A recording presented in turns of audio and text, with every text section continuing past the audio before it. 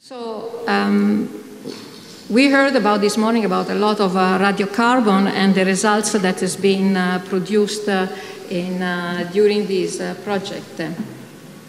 So I'm going to present, uh, you know, um, our, our methods for, to build the chronology. So um, archaeology is a combination of chronology, geography, and cultural material. And this has to be uh, integrated in order to understand the past. Um, many schemes are uh, used uh, to, to show these three parameters. here you have, for example, on one side, this is the time, linear, of course. Here we have the geography with different countries and sites, and the cultural materials is represented with different names. That's uh, very impressive, and schemes are given in different form. But I think one important aspect in this scheme is, uh, you know, time, uh, as we have seen today with radiocarbon, we are able to give uncertainty and errors uh, when we determine the time. So these numbers, so precise when we actually measure, are not so uh, thin and so but also the uh, geography, this is less uh, uh, prone to errors because the site is where it is. But material culture is very much connected to interpretation. And this straight line that sometimes they looks like, you know, synchronous between the sites, they should be, of course, to be more uh, fuzzy, more uh, um, less, uh, less well defined. Of course, this is a scheme, and the scheme is useful uh, because it helps us uh, to put things uh, in, uh, in order and see where we are missing data, we are missing uh, uh, some, some information. So let's focus on the, on the radiocarbon now. And you know that recently a new calibration curve came out in the 2020 and uh, there, there, are some changes which are mostly in the very old ages, uh, 30, 40,000, 50,000 years. Um, but for this time of period, uh, like in the early Bronze Age, now I overlap the 2013 curve, and you see that the difference is really very small. You almost don't see much difference. But the problem of the calibration curve remains because we have, you know, wiggles, like this one. We have plateaus like this one, but we have also very nice, uh, very sharp uh, uh, slope, and these are our uh, uh, best uh, candidate for chronology. And of course, these tell us that a site which is dated with one date is not very useful. You know, it just gives you, because one date could take all these wiggles. But um, so the best is to have a very tiny, um, very dense uh, um, stratigraphy so that, uh, for example, if we are in this type of uh, wiggle, if we have many layers and we date them, then we can indeed follow these wiggles and figure out that even if I have a date which is younger than this one, except, uh, for example, for the radiocarbon, this would be younger, would be older, sorry, than this one, but in fact, in the calibrated one, it is younger. So, you know, these are things that has to be considered when you start to plan your chronology because uh, uh, the density of your layers uh, is uh, super important when you have this wiggle matching. And this is the classical example of uh, Megiddo that we have published that indeed uh, we have dates uh, like this one, which was older than all the rest, but uh, you know, it was in the stratigraphy, it was uh, higher, and so had to be younger.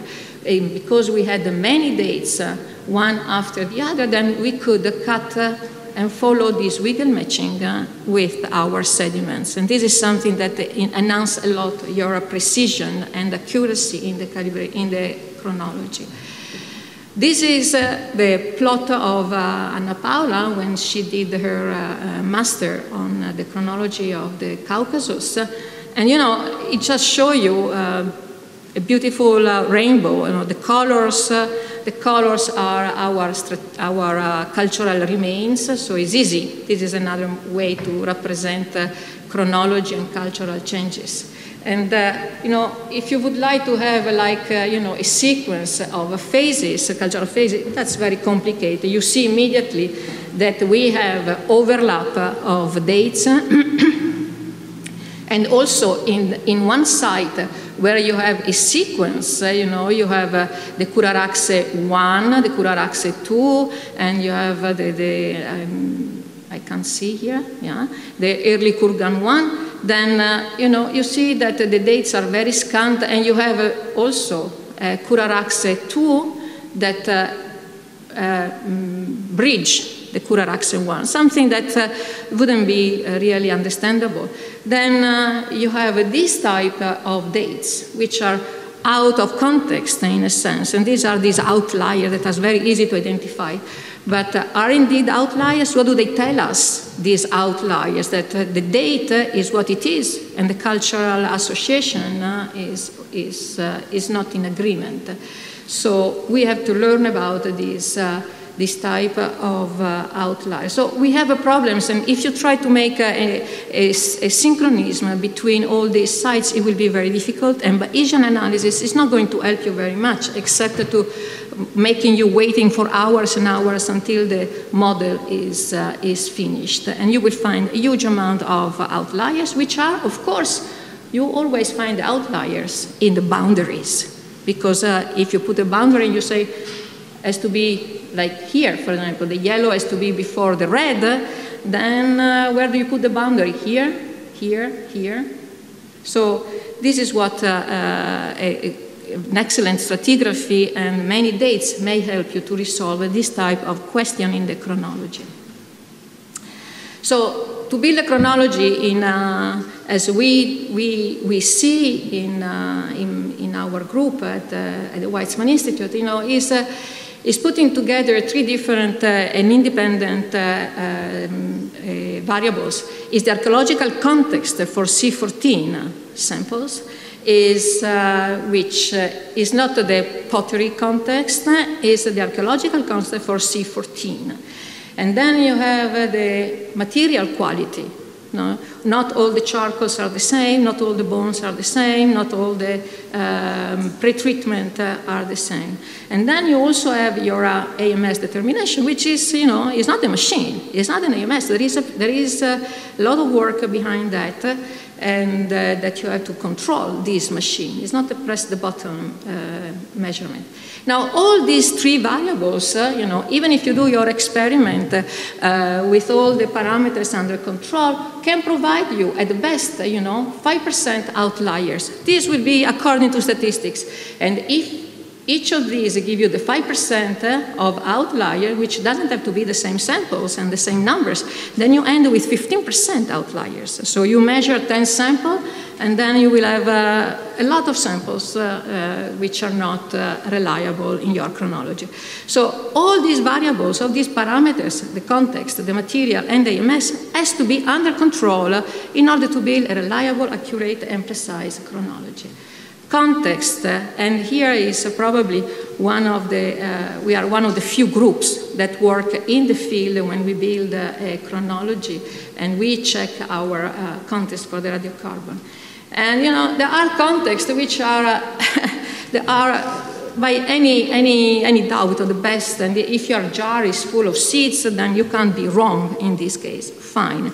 And, uh, but most of the time your context is something like that not really uh, uh, very apparent. You have to guess what you have, and you have to assume according to your uh, um, experience if this is a fireplace or just um, an intrusive or excavated before from the next layer. So it is quite complicated. But if you find here, for example, some charcoal, some seeds, are they good for dating? Do they do, are they connected to this floor, to this surface? And this is something that uh, by eyes is very difficult to see, and you need special tools. So you may use, you know, all the microscopic uh, parameters like uh, pseudomorphs, which represent here the pseudomorphs represent your uh, presence of ash. You have a phytolith for the fuel, and we use a lot of the infrared spectroscopy. So when we are in Israel, uh, and if we can, we bring the lab in the excavation, and so we can, while we are excavating, and we can check what the context is, what it represents from a microscopic point of view using uh, uh, binoculars, spectrographic, uh, we can do some basic chemistry, and here is our infrared. And the infrared is uh, essential in order to understand uh, not only the context but also the material, because through this analysis, uh, which is the interaction of the light with the molecules of your material, in this case would be the so-called archaeological sediments, you identified those sediments. You can see if you have a phytolith included in your sediments, if you have organic material through the phosphate peaks, these are the peaks of the phosphate molecule, and the infrared will tell you. And if you have a calcite, which is uh, represent many different uh, um, activities. It could be ash, it could be plaster, and we have developed also the, the methods to see how, how this calcite is related to uh, anthropological activity or just a geological uh, calcite. And uh, very important uh, because we are looking uh, very much at uh, charred remains for radiocarbon. we have seen, you know, this morning seeds and, um, and the charcoal. the temperature at which uh, uh, the fire was done and left us these uh, charred remains is recorded by the clay. And the clay, when it is heated, uh, change. and we can detect the changes with the infrared spectroscopy by, for example, the disappearing of the water peaks, the, the structural water peaks, or the SiO, the silicon oxide peak here, the 530 disappear as the temperature increase. Here is the increasing in temperature. And also the peak of the clay, which starts at uh, wave number uh, 1032, we see that it moves uh, to 1092. So these changes tell us the temperature that your clay has seen. So, and if you find your, char, your charred remains together with clay uh, that has seen temperature, then you you may build a more a higher confidence that this charcoal, this seeds has been burnt, burnt in situ there. And this, by dating the seed, then you can date the surface on which the fire has taken place. So this is what we did uh, also by analyzing uh, uh, the other microscopic uh, um, proxy for fire and for fuel and anthropological uh, activity. So this build-ups, what we call it the, um, the radiocarbon assemblage uh, for burning features, for example. In Aradetis, when we started to excavate uh, uh, during the master of Anna Paula, you know, we incur in uh, one locus, uh, which you know, we see something that there was a fireplace, and uh, by sampling different sediments uh, both uh, where the features we see changes and where it also the general sediments for control, then we figure out that, uh, for example, the sample 24, close to where our charcoal is here, has indeed the features in the infrared, here we see, that has been burnt at 700 degrees, a sea temperature at 700 degrees, because we don't have uh, the peak at 520, the water peaks are gone, and our clay peak also moved to 1040. So this tells us that this charcoal might have been burned there. And by excavating below that, then we found the structure that was probably burned at the same time as our first appearance on, uh, on the locus uh, above, just a few centimeters above. So, you know, you, you build your uh, archaeological uh, um, confidence that these materials is indeed in situ. Now, observe in this, uh, okay, you see, these are the numbers of the sample that we measured and are coupled because this we relate now to the material that we wanted to date. So, having characterized this, and you see this is the sampling that we do in the field, because you not only have to sample the material that you think has been burnt, but you also have to uh, sample material around to see that your feature is unique and not a general, uh, uh, something general all over the site, all over the tell. So it's a real signal. Say that now the material quality for C14. The fact that you see a bone doesn't mean that there is collagen, and the fact that you see a seed doesn't mean that you can uh, measure it for C14 because diagenesis and changes uh, through the thousand and thousand of years may completely destroy your uh, initial C14, uh, the material that contain your C14 for dating. And you have to be aware that by standing, uh, stay in the sediments, uh, you have humic substances that can carry younger carbon into your sample. Clay, that can be either younger or older in carbon. Carbonate, again, it can be younger or older. And all these have carbon inside, and if you don't get rid of it, uh, um, and you are not left with the, the material, the original material, then uh, your data can be different. And uh, you know, this uh, can be followed. We, we study uh, quite intensively the charcoal because it's not a, material forever. And when you do your chemistry for cleaning uh, your charcoal, you know, you first, uh, this, is a, this is a charcoal from the excavation, it's a 10,000 years old, this charcoal, and you have the peak uh, of your charcoal. As you clean uh, from the carbonate with the chlorhydric acid, and then from the humic acid with your uh, uh, sodium hydroxide, okay, and you follow and you check your material how it changes through the chemistry, you see that the region of your uh, charcoal, which is this one, completely disappeared. Your molecules that initially were your charcoal, you have uh, cleaned it because it's so badly preserved that is gone. And you are left uh, then uh, with your clay and your quartz. Quartz doesn't have carbon, but clay has carbon. And this sample had enough carbon to be measurable with an accelerator mass spectrometer. So, but the dates is totally wrong. And in Aradetis, uh, we had exactly this effect. We were following how much we can clean from the clay in Aradetis in the Kura-Araxes layers, and we saw that in some cases, you know, again, we got rid of the charcoal and left only with the clay.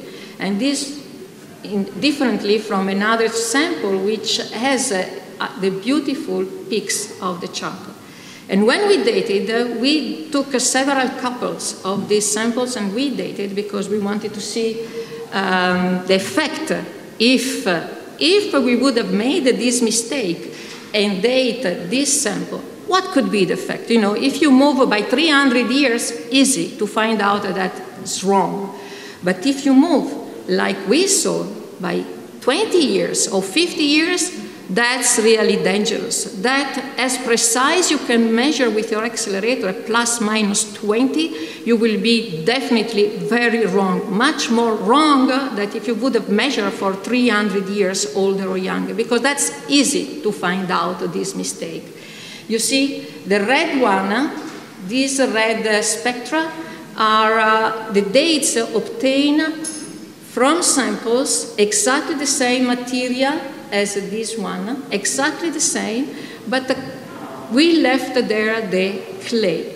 And sometimes, you see, is almost at the same age, but sometimes uh, is very different, like here and here. So, and this depends probably from the quantity of the clay, it depends from the amount of organic inside the clay, and if uh, these are ordered in stratigraphic sequence, uh, these samples, you know, you would say, well, this is my data and this is all wood effect. Is older this data and because it's charcoal, all wood effect problem. And you would consider actually this one, which is the wrong one, as your best date. And if you try to make your transition, okay, in uh, between one culture and the other, you move, you see, these are 100 years. You would have moved your transition by 100 or 200 years later, and you will be very wrong. So now you understand that uh, uh, this uh, quality of the material uh, is, is, super important, and there are parameters that we check in order to find out that the material is indeed clean. The infrared, we before, before we measure any samples, we check with the infrared. If the material is not clean, we don't date. This was an exercise that we wanted to see how much we could be wrong, and is really very dangerous. Then we go to the accelerator, which, uh, you know, uh, uh, for the accelerator, you, you have to transform your material after you clean it in uh, graphite. And when you transform in graphite, uh, then you can measure the percentage of carbon in your material. Why this is important? I need, after all, I need one milligram of carbon. But this milligram of carbon has to be the right milligram, as small as it, as it is. And the percentage of carbon tells me if uh, my charcoal is fine. It should be 50, 60% the carbon. And if you don't check this, if you don't pay attention to this detail, then you know you have enough material for a measurement. But the measurement could be wrong. Collagen has to be 30% in carbon. Collagen with less, even if you have the material, would not be collagen. You have something else there. And then we check with the stable isotopes and see an ratio according to the type of material. Then, uh, when you have your milligram, uh, your milligram of carbon uh, has to go in the ion source, where you have, uh, from the ion source, then uh, you will take uh, out all the single carbon atoms and you measure the ratio of C12, C13, and C14. Again, if you are going to measure, and this is something that we pay attention for our application, for our research uh, in chronology, if I have a, a, a, a chronology which uh, is only in the third millennium BC, then uh, all the sample I put here, the standards, the known age samples, are in that time range because it is important for the accuracy and precision that you actually check uh, the, those plus minus 20 years. You, we don't mix samples for 50,000 years uh, with uh, chronology of a thousand years old. So the preparation of this wheel uh, is uh, set in order to achieve the best accuracy and precision for the chronology we are investigating. And, uh, and it's not a routine. We may decide to a certain point that for our uh, chronology, we need 20 measurements in each sample and not 10. I mean, more measurement means more time. More time means that you can measure less samples uh, in the same amount of time. And this uh, is very uh, time consuming without considering the cost of all the operation and so on. So this is important because you want to get the right number at the end. So now you understand that when we get the accelerator, I call it the step of no return. When the sample is measured, the number has to be out. So because we have checked the contest, we have checked the material, we have checked all the parameters, when we get the accelerator and we set the measurement for the C14, you know, with all the different uh, uh and uh, different uh, um, uh, parameters that could change through the measurement. If you, if you have never seen or never been in an, in an accelerator, we don't measure once the sample.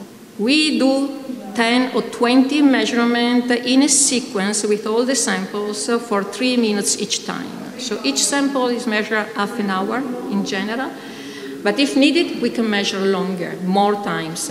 And all these numbers you have uh, 20 different numbers only for uh, the age, but this comes from the current that you measure here and the currents that you measure here and all the vacuum parameters. So all this is recorded and at the end, when you check, uh, you see, when you see all your numbers like that, if you have samples which behave like this, that's there is a problem. And sometimes it happens. It happens that you have problem. Again, I can measure an average here, with the standard deviation, I can calculate. But these samples is not, is not a sample that behaved correctly as these samples. So these things need to be checked in order, but remem remember that mathematics, you can always calculate an average and the standard deviation. So at the end, uh, you know, after all these numbers and all these, uh, you get to your uh, Libby age, which is you know, related to the content of C14, and now is only the calibration that separates us from understanding our uh, archaeological record. So when we started with this plot uh, from the beginning, Now I understand that with Anna Paola, when we tried to make any models, it was very complicated, very difficult, because how many of these dates are from in situ context? How many are from pristine uh, materials and can be comparable with what we're doing today? And uh, was the carbon percentage checked? Or, you know, because uh, once you had to measure, you just measure and this is it. So, you know, all these, uh, all these are uh, important uh, in order to build your coherent chronology and stratigraphy of your site. Then, uh, when you have many dates, uh, and the best is to have it from one site. That's the easiest part when you have to do a model because you have uh, all under control. And if the stratigraphy is one on the top of the other, that's, uh, you know, it couldn't be uh, better than this. Then you can use your uh, um, model. And remember, the model is a model. It helps you to make order, to see where you can ask a more precise question where you can have a problem or a gap. But uh, you see, there is no, no reason why the model has decided that this is the right date. What about this part? This part has been excluded in the model. Why? It could be the, actually my date, the correct one, is actually here. Who is Bayesian to tell me where my date is? So now you have to use your uh, uh, understanding of the archaeological site, uh, of the cultural remains, and figure out if this is only an effect of the mathematics, because I want everything to be as short as possible. I want, uh, this give me the shortest period uh, my level has survived. But there is no reason in the world that uh, there couldn't be a gap between this and my next real date. Now, site formation processes, understanding, uh, uh seeing uh, if there was a gap, uh, that's why I'm asking also before the gap, is very important. And the more dates you do, the better you understand also your sites in, in this level. But remember, a model is, uh, is helping you. And all the models are wrong, but some are less wrong than others or more useful than others. So it is not my quote, but uh, is, is a model. And you see, when you do a model, this is from Anna Paola work, always the outliers is when you want to make a transition. Who is the first, who is the last, who is the one that change? But there is no reason why there shouldn't be an overlap. And why to put it in a sequence? Maybe it's a phase. Maybe all these dates are the same. So now the mathematics uh, is helping you to make order and uh, help you to find out uh, uh where to focus. And I think, uh, I, I think I'm almost uh, at the end. I think that there is a beautiful paper by Christopher Bronk-Ramsey, who is the one that wrote the OXCAL that we use and it's about the dealing with the outliers and the offsets in radiocarbon dating. Uh, I, I would like everybody to read it, this paper. And, uh, and you see, he say in general, there are two main ways of dealing with outliers. The first is to try to identify all the outliers and then eliminate them manually from the analysis. If this is possible, if this is possible, this is probably the best approach since it is then entirely clear what data are being used to support the analysis. There is also a routine, the outlier analysis that we can use, and you leave the Bayesian to decide um, who is the, the outlier in your analysis. But I think that once you publish all the data and you show all the data you have obtained, then you are entitled by knowing uh, uh, your site, the, the, the archaeology, to say, well, to my best understanding, those are the outliers. Once the data are published, then everybody can make another model, can build another, uh, uh, another scenario and so on. But uh, I think that really getting to the, to the core of why a number is not in the right place, why a date is not in the right place, is super important. And I, I think that in my career, I learned much more from the outliers why they're not where I was supposed, where I expected to be, then from the beautiful uh, sequence uh, that, uh, you know, just agree with my view. I think that outliers has the most informative, uh, um, are the most informative in your research. So in conclusion, I think precision and accuracy in the chronology start in the field and it needs microarchaeology tools and methods for the selection of the best datable context. This is, uh, if you don't get the right context, uh, then uh, nothing. The accelerator can be the best in the world, but uh, you know, if the, if the context is wrong, uh, we can't save it. Material and analysis requires tailored analytical methods, pre-treatment, FTIR, seed percentage, types of standards and known age samples according to the type of chronology we are investigating. And this is to control and eliminate contamination on one side, which is uh, somehow independent from us, and the noise that can be uh, that can source from this. Attention to the calibration curve. That's important in order to plan the density of your dates. If you are in a plateau, then you have to do a lot of dates to cut the plateau according to stratigraphy. If you are in a beautiful slope, then maybe two dates, top and bottom of your slope, might be enough uh, to, to define if you are there or not.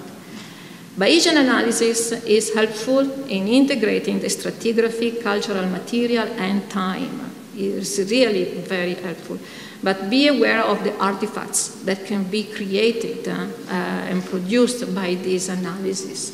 So at the end, uh, you have always to be the one that uh, interpret uh, this, uh, this model. And I think that um, I finish with this one, and I thank you for the attention, and I thank you, Eugenia Mintz and Lior Regev, which are my partners in research for all the chronology, the accelerator, and the lab at the Weizmann Institute. Without them, uh, that would not be possible, and all the students and other people that work to build up all this, uh, this idea of chronology with radiocarbon. Thank you very much.